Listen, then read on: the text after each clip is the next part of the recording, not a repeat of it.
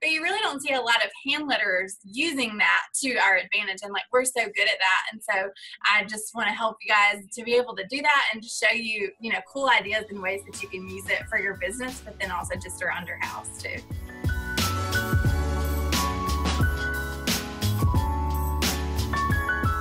Hey, I'm Becca with the Happy Ever Crafter, and this week I'm talking to Maghon Taylor of All She Wrote Notes, who is not only the happiest person I've ever met on the whole planet, which you'll see in a second, but she's also a total boss at creating products and stuff with your hand lettering all over it.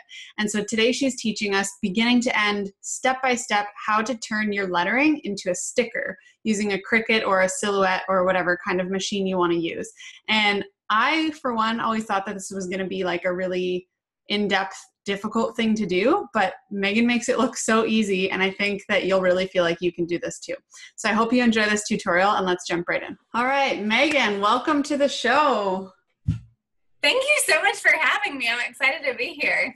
I'm so excited to have you and finally meet you in like quote unquote person because it's I feel like we we should have been friends a really long time ago. I know. So um, for those people who don't know you, can you give us a little rundown of who you are, what you do, all that kind of stuff?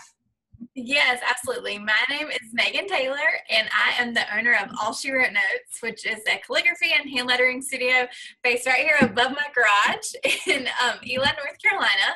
And I have been lettering as far back as I can possibly remember. I love doodling, I love drawing. I've built my business. We've almost been in business for six years in August.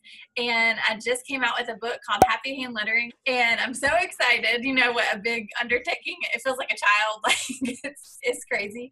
Um, but I also teach classes. So I travel all around um, my state in the Southeast teaching lettering classes, just the basics of how to hand letter, like, you know, how to do it, how to make it happen. And then I teach calligraphy classes as well, plus have my online shopping products. So every I say that my mission is spreading happiness through my handwriting. So everything I do is related to that in some way, shape, or form. And right before we got on, I was asking you about the spelling of your name. Can you tell us about that? Because I think it's so yes. funny. It is. It's just Megan, but my mom chose to spell it M A G H O N, which is not how you spell Megan, y'all. She made like she just totally made it up and literally said that she spelled it that way because it looked prettier to write. So I was joking with Becca. I was like, "Well, good work, mom. Like, good call because I write for a living and it's it's crazy. I did not like it at all when I was a kid, but it I have fallen in love with it as an adult, and I think it's so crazy and sentimental how much it impacts like my business and what I do on a day to day basis. And so it's cool to see how that has evolved over time, but the heart is still the same. Like the style looks different after all these years, but the heart behind it is exactly the same. So it's really fun just how that worked out, and to be able to do that for a living now is awesome. Yeah, your mom nailed it. She just had this like she had this vision of you in yeah, whatever 30 years that you were going to be able to do this for a living. So when good. I was a little girl, they would say like, "What do you want to be when you grow up?" Like everyone asked that, and we had this local gift store like in my hometown, and the girl at the gift store had this paint markers, like the painter's markers, and she would go and write your name, and then she would add the dots, and then go back with another color and like add more. And I was like, I want her job. Like I want to be the girl at Animal Crackers, and like don't give up on your dreams. Like here, here I am. Like I don't do it at a store, but I get. To, it is so cool and it's so fun, and I especially love like when I get to personalize something for somebody that does have a crazy name or like a crazy spelling that you can't find anywhere. It's like I know it means extra special, like it's more special to them. I love it. That's so good. So you mentioned that you, I mean, obviously you teach all of this, but you also have a shop and you put your lettering on products and stuff, which is sort of in line with what we're going to get to today. So uh, Maghon's going to be teaching us like step by step, beginning to end of how to add vinyls to your products into whatever yeah. whatever you want really like how to turn your handwriting into a sticker basically and then just giving you so many ideas and sources and places that you can create products that not only that you can sell but that you can just make for fun like for your friends and your family but it's it's been something for me that like has really transformed a lot of the ways that i do selling and like I do personalization because as you all know, like by hand, we're good, we're good, but we're not that good. And you can't get it right 100% every single time. And so the more I started writing on more expensive items that I didn't want to ruin, like with a marker or that I just felt nervous, like, you know, how if you only have one, that paint marker is going to just like all the ink is going to release and it's going to ruin started doing vinyl like I mean, I've been doing it for about five years now, and it's not anything new, but you really don't see a lot of hand letters using that to our advantage. And like, we're so good at that. And so I just want to help you guys to be able to do that and to show you, you know, cool ideas and ways that you can use it for your business, but then also just around your house too. Yeah, awesome. I love it. I, I have never done any of this, so I'm excited to see your oh. lesson. So maybe I will just take my face right off here and let you jump into it, and I'll interrupt right. you if I feel like I need to. All right. Okay. okay. This is going to be good. So, when I am going to create a vinyl sticker or a vinyl decal, I have a pretty simple, easy process of lettering it and writing it before I'm able to take it to the computer and digitize. I am such a paper and pen kind of girl. Like, I know I could do this on an iPad. I'm well aware, but that is not, I'm not very good on there. And I don't feel 100% confident in my skills. Like, if I get the choice between a computer or a paper, like, I'm going to take the pen and the paper every single time. And so, that is, that's the first part of this. I'll show you how I go about writing it and digitizing it and then bringing it into a program. You to, to create the vinyl decals if it's something that you want to do a lot i would recommend investing in either a, a, silhouette or a cricut like one of the vinyl cutting machines but you do not need the expensive one. Like you do not need like the one that can cut out like full size items. Like our decals are pretty small. So my favorite one, I have the silhouette portrait and it's the cheapest, like smallest little one that only cuts 12 inches, but that's like plenty for what we're to do. So it's only like $100, $150. And I mean, I ha- it's like more than paid for itself, like in just one day of order. So it's really cool just to start small. You don't really need all the fancy equipment for $100 machines or anything like that. It's just real easy and anybody can do it. So when I'm going to write something that I know is going to be ultimately turned into a sticker, writing thicker than I normally would is really important. Y'all know, like, if we've got all these pretty flourishes and curls and swirls, that is going to be a pain in the butt to try to pick that out of a vinyl sticker. Like, it'll catch it and pull it, and it makes it really, really hard. And I had to learn that the hard way. Very early on, I was actually writing in calligraphy and then trying to digitize calligraphy for vinyl. And it looked pretty, but it was just way too skinny. Like, it was just such a pain when it came to the sticker piece of trying to make that functional. And so I started hand lettering everything instead and, and using this specific marker. So this is a Sharpie flip chart marker, which I don't use for anything but this. Like it's it's not permanent, so it can't really like write on anything to stay. It's so big because it's made for flip charts, but you can buy them in like a big pack like this, um, all black. I definitely recommend that you get the black one.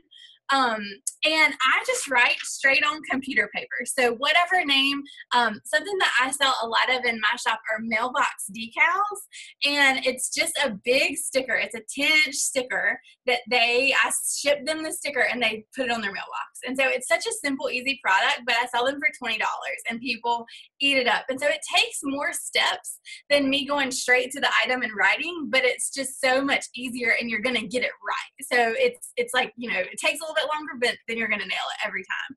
And so I take the Sharpie flip chart marker and write really big, like on a piece of computer paper, like end to end. This says the gardeners.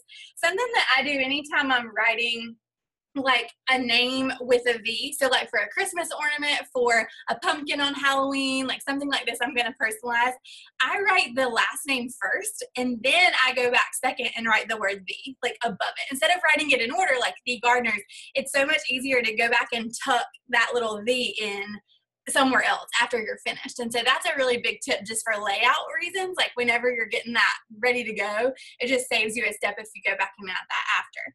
And so then when, once I've got that written down and shading it on my downstrokes, all the hand lettering that we know and love, I take my very sophisticated scanning system, my iPhone, and I take a picture um, of that of that piece of paper. Then I go through and edit that picture just on my iPhone and I turn it to black and white. if you look on your phone when you're going to edit a picture, there's like three little circles. And I click on that and then scroll all the way to the right and it says more. Like, I don't know if I pronounced that right, but N O I R. That's the setting that I use. And then I'll use the brightness, like the light, to adjust it to get the most contrast. So if I spend more than two seconds on it, like that's too much time. Like, we're just trying to make it the black is bold and the white as bright as we can. So just kind of adjusting those levels so that we don't have shadows because this will help you. You don't have to digitize it if you if you do it this way. So you don't have to go into illustrator first and vectorize it and then go into your cutting system. You could just go straight to the cutting system as long as it's a really crisp picture. So that comes in really handy. Once i get that edited then i just airdrop it to my computer so Maghon, you're editing right in like the, the photos app. You're not using any separate apps or anything yep. like that. And for for any other pictures, anything I take, I do PicTapGo. Like I'll do all these settings and filters. But for this particular thing, I literally just use my iPhone. So like nothing like it's like the edit button on the picture. And so just just dragging that all the way over to the more and then adjusting the lighting. And you'll see it when you know it, just trying to make it as crisp and clear. So that saves me a ton of time. Like even if I have like 10, I'll just like do other pictures real quick, airdrop them, and then go ahead and go into the editing gotcha. step. So I'm gonna share my screen with y'all so you can see the app that I'm using, this comes free like with your silhouette. Like, but if you bought a Cricut, there's going to be an app for that too. Just whatever software comes, you don't have to pay for any upgrades or any kind of like extra design settings. Like they tried to sell me that, but you're, you don't need it. This is just so straightforward and so easy. So once you have that, you can just airdrop your file into your program and let me share the share the screen. So I'm going to open this up in the Silhouette app, which is just the software, the free software that comes with your cutter. So if you had a Cricut, it would be the same way. You would have the same option. You don't have to upgrade to any type of design software or anything like that to make it happen. So I just airdropped my art over into this program and opened it up and you can adjust it big or small, but really I just try to make it as big as I can right now because then once it's cut, then you can the size or the height or the width or anything like that. So once you get it in here, you're going to click on this button um, that opens the trace panel. So this might have different terminology depending on the cutter, but what you're looking to do is to trace your lettering. So you click on that and say select trace area, and then you just take your cursor and just highlight your writing. So anything that you want to be traced, you want it to turn yellow. It'll give you all these other clickable options, but you really don't need any of that. Like just literally select trace, highlight it, and then click on trace underneath trace style. And you'll see all these red lines will pop up. So this is really like vectorizing your art. So you actually are able to save the vector step if you just go straight into this program from your photo.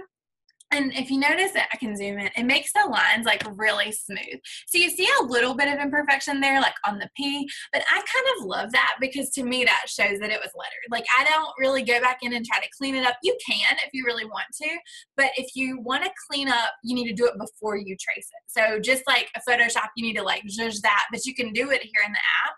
Um, but you don't want to if you try to go back and clean it after you've traced it, then it like cuts your trace lines and it won't it won't cut out properly. So you just go through here and then once that is traced, this becomes its own little movable sticker. So you can pay attention to the the numbers that show you the inches, the height, and the width. Obviously, as you know, you can usually pick one or the other. Like you can't really pick both. So what I try to do anytime I'm doing a product listing, I'll say that the sticker is going to be six and a half inches wide. So that might be different heights depending on if it's a shorter name or a longer name. So I don't ever promise that piece of the information. I just say the sticker will be 10 inches wide or the sticker will be six inches wide or, you know, whatever it is that they're looking for since the height will vary vary based on. And then obviously just as the artist like you know what looks best. So if something looks kind of funky or something looks kind of weird or if it needs to be a little bit bigger or a little bit smaller i think you use your own judgment. Anytime i'm putting this on something of course i'm like measuring all those things beforehand and getting you know good margins and making sure it's going to fit um, which comes in really handy. If it's something that you're going to write over and over or use over and over, then obviously you can just save this sticker. You can even set it up to print multiple stickers at the same time. Um, but usually for me, I'm selling one off products. So this is someone goes online and they place an order for a mailbox decal. They just need one that says the gardeners. They might buy two, one for each side. So I am printing it, cutting it, and then carrying on to the rest of the steps. But if it's something, if it's a product that you want to continually produce, I have a friend who owns a shop and she sells custom wine glasses. And so all the wine glasses have, you know, different sayings. And she's got some that are available to be personalized, like where you go and write the name, which I think for us as letters is really the coolest because we can make it look so special. And like our handwriting is not a font, it's going to look different every time. And there's that extra step and like extra piece of work, but it also makes it really special. But then she just preloaded. So it'll say she's got a wine glass that says because kids, like because work, like things that you might need wine to drink for. And so she's cutting out that same sticker every single time. And so if you find mm-hmm. sayings or products like that that you use a lot, it helps to just go ahead and cut out several at one time and just kind of keep them in a drawer, or you can save those files and be able to cut them. And so once you get this ready, you can make it whatever size you want. So I just kind of I hold down shift on my keyboard when I'm stretching it just to make sure that it stays in proportion because you don't want to make it too big or too small. Um, or the, to see if you don't hold that down, then it might get out of out of whack. It kind of look funny. Um, like stretching your letters or whatever. And so once that piece is done, you send it to your cutter and it tells you over here and this is stuff you'll learn like what numbers to set it on like all this is just kind of vinyl knowledge that you kind of gain as you go. Um, but it'll cut out on your cutter. It probably takes a minute two minutes depending on how you know how many words how many things you have. And i'm going to flip you back um, to just my face and then i can show you the next step. So i did like a tv show and i already have it cut out for you and i can show you how i go through once that's cut. So i just have it right here beside my desk. I cut it out. Um, once I cut it, I like to trim it really close to the lettering. So especially if I've cut out like three or four names on one piece of vinyl. So the portrait cuts out vinyl that's like a, a big piece of paper, like eight and a half by 11. You can order this. My favorite brand of vinyl is Oracal, O R A C A L. And you want to look for permanent vinyl. There's really no such thing as permanent vinyl. like all these stickers will come off, but I think permanent vinyl is meant to be used outdoors. So it just will work great. Like anything I put vinyl on, I use the permanent outdoor vinyl. That way the items can be put in the dishwasher. You're not going to have to worry about the sticker coming off unless somebody was really aggressively like trying to get it off. And so that's really nice, especially for our lettering, like with the little details or like dots on an eye, things like that. You don't want that to just fall off. And so the permanent outdoor vinyl really comes in handy. Um, so once you get that, you want to cut and trim just with scissors like around your word. And I like to do this underneath a lamp, so or a light, just so I can kind of see where the where the lines are going to pop up. It makes it really easy to go and peel. And then you just want to take one corner and then go slowly, and it'll just peel right off, like in between your letters right here. I call it like part of the letter Y. You just gotta check yourself before you wreck yourself because they are stickers and they can kind of get tied up. But as long as you're going slow, then you can always catch it and it doesn't ruin your sticker.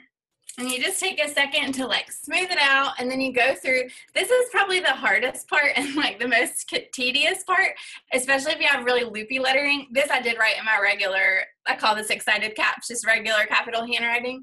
But with any of the lettering that has the swoopy swirlies, you've got to go through and like pull out that middle sticker, like on every single hole or loop or swirl. And that can take a minute. A big tip when you're doing that, stick it all in the same pile. So you you might be quick to just like stick the stickies wherever you can, but then it's gonna take you like 10 minutes to clean it up. So when you're peeling, if you just keep sticking everything just straight to your skin in the same pile, then you just have one pile to throw away. So so I've learned that the hard way over and over um, whenever you're weeding, is what they call it, going through. So you just make sure that everything is really smooth and everything's really clear. Now it's kind of the time to be able to do that. And then you will use your transfer tape. So my favorite brand of transfer tape is by Craftopia, and I order all this stuff on Amazon. Um, or if you go to Hobby Lobby, Michaels, like any of those stores will have it too.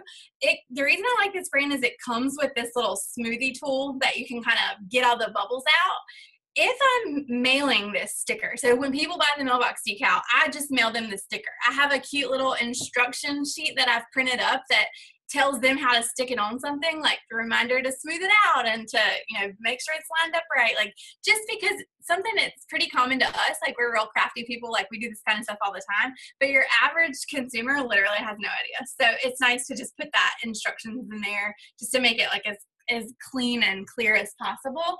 And then I had these little like they're not I should have like marketing wise, I should have made these a lot more useful. but I have these like fake credit cards made up that they can use to to run across. So I stick this in there as like a hey, like use this to to smooth it out before you attach it. Um, if it's something that I'm just making in house and I'm gonna stick it straight to it myself, then I reuse this vinyl. Like you can get like three or four or five stickers out of the same vinyl. Like it doesn't lose its sticky really fast.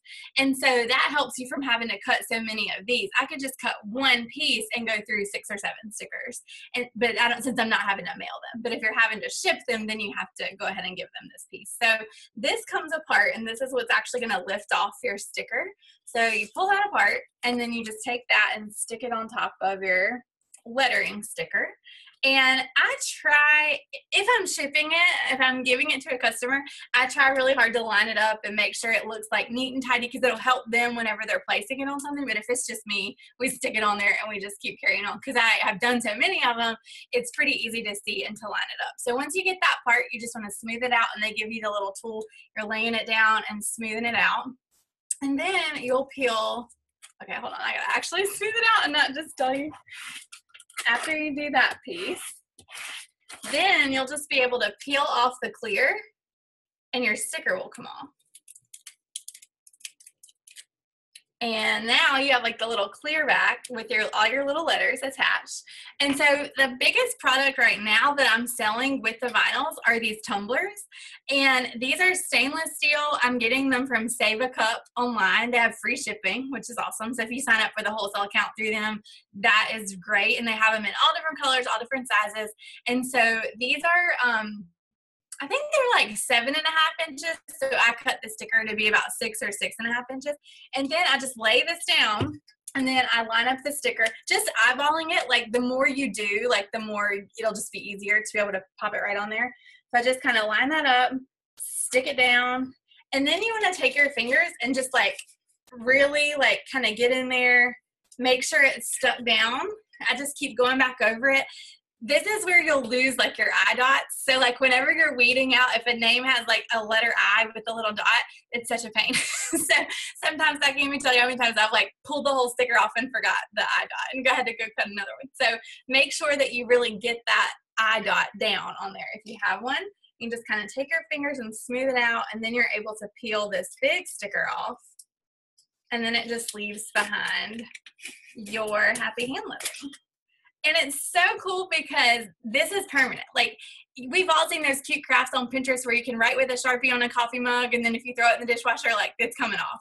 And this, like you can, the only thing I have seen that messes this up is sometimes if you stick it in your cup holder in your car or if, it just kind of gets dinged, it'll, it'll kind of pull, pull at the sticker, but it still doesn't take it all the way off. And so it's just really good quality. It's, it's nice to get it right the first time and to not have to go back over it. These are like six or seven dollars. And so if I was having to write that with a Sharpie, like I'm good, but I'm not that good to be able to do it right every single time. Another thing I really like about using vinyl is the ability to be able to scale it, like to make it big or make it small. I am working on some wedding signage for a friend, and she wants these. They're like they're back there on my chair. They're like all these wood signs, and she wants them all to look the same, and they all have really similar like phrasing and lettering and so i'm gonna use vinyl. And i just like i feel so much more confident. I know it's gonna be perfect and i know it's gonna be right the first time instead of me trying to like get the right paint and test the right marker and what if it bleeds through and all these things. And it's so cool because it's still my handwriting. Like it's still my vibe and still my style but it's one and done and it just comes in really handy. Well and i think that like the part that's really hard for people is like they think that once they write it by hand that it's going to be really hard to digitize it and then move it over but i think you just busted that myth like that that is so easy um and I also think that like like you said at the very beginning, a lot of people prefer paper and pen and think that they have to do it on an iPad to get it to go onto a, a Cricut or a silhouette machine. So amazing that it doesn't have to. It's so true. And I, like, I'm very intimidated by like technology or like apps or programs or digital. Like, I can't even get my internet to work. Like, we're trying to do like, I'm such a paper and pen kind of girl. And so I will rule out things a lot of times because, oh, that's too techy or that's too many steps or too many softwares or programs. But I really don't think you have to have expensive tools. Of course, they're out there and of course you can buy them and, you know, snatch them up by the dozen, but you have everything you need. Like, that's what's so cool about doing a lettering business. If you got a pen and a paper, you're in business. Like, my first year and a half, I didn't even have internet. I didn't even have a computer. I didn't have a printer. I was doing everything just by hand. Like I would, I would take an order, you know, online on Etsy back then, and I would write it out. And I, I would, if someone ordered six bless your heart cards, your girl was blessing six hearts. Like bless your heart, bless your heart, bless your heart. And that's how I started my business. Like I didn't have any of those things, and now it's my whole entire career. And and I just think so many times we wait till we have the perfect logo or the perfect website or the perfect business card or whatever equipment we think we need and you don't you don't need any of that. So you're using a silhouette machine right? I know you mentioned the type of it um, yes but like roughly ballpark how much are people looking to spend if they're going to get one of those machines 150 max I would say maybe even hundred. Um, especially if you're able to like catch it on a sale. Like go online, like look for mine is the silhouette portrait.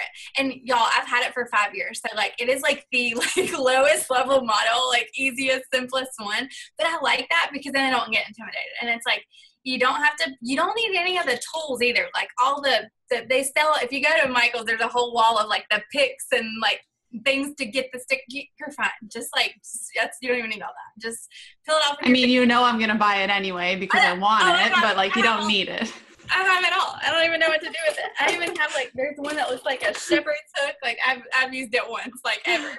But it's sometimes it'll come with like the whole kit. Like you can get the whole entire thing. Like I've seen it at Walmart, like online for like super sale. But yeah, keep your eye out. You don't need like whatever the lowest model is for letterers that's plenty for us because we're not trying to do fabric. We're not trying to do like chipboard or like it is, all we want is wow. So I love it.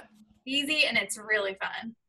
Awesome. Well, I can. I mean, I can tell you're having fun with it. Like, does your face ever hurt from smiling so much? Because like, it's like contagious. You're just like constantly smiling. I'm just so excited to be talking to a person because I work by myself. So I'm like, oh, hey, like it's like we're co-working today. So uh, yeah, totally. have to listen to a lot of podcasts. Seriously. So Maghon, um, where can people find you? Tell us a little bit more about, you know, where people can find you and what's new and exciting in your world. I know you said yeah. you have a new book. Absolutely. So, and everything, um, since my name is so hard to spell, everything is just All She Wrote Notes everywhere. So, All She Wrote Notes on Instagram, All She Wrote Notes on Facebook, All She Wrote Notes.com. Um, my book is called Happy Hand Lettering, and it goes through, which a lot of you know, like the step by steps of how to draw the and shading them in. But I think even if you know a lot about lettering, you'll get a lot of encouragement about life in this book. It the happy piece is what I'm so excited about. That was the word. I think we can tell. I have it tattooed right here on my wrist from the book cover. And so there's 14 projects in the second half of the book that talk about how to spread happiness, like not even just in your lettering, but in your life, and how you can bless others with your gifts. And so I give you a ton of ideas, like a ton of traceables, like a lot. It's not just a practice book. So many times you see like a lettering book and it's just blank pages for you to practice the letters. There's only like six of those in there. So it's 144 pages full of like life giving content, favorite quotes, favorite messages, inspiring words. And it was just the joy of my life to be able to make that. But then to see it on this scale, I, I'm so excited. I just hope that it, it's just been such a life giving hobby for me and for all of you. Like, you know, I mean, it's just fun and it just brings you joy. But I'm excited to encourage people that it does not have to be perfect to be good. Well, I will link to it below for sure. And actually, by the time this interview comes out, I think it will be past that date. So the oh, book should be out. If anybody's oh, watching this, the book should be out now and it's ready That's to grab. So, so yeah. So, um, Maghon, thank you so much for coming on. This was awesome. And I'm so happy to finally, I'm so thank happy. You. See how I use that word to finally get to hang out. Um, so yeah everybody go check out all, all of Maghon's links i'll put them all below and uh, and if people create stickers or anything that's inspired by this lesson make sure you tag Maghon, probably best on Instagram, Maghon. Instagram is awesome. All She Wrote Notes. And you can also hashtag happy hand lettering. Awesome. I love it. And the happy ever crafter. we were so meant to be. Like, oh my gosh. okay, Maghon, I'll let you go, but thank you again so much for coming on. Thank you, Becca.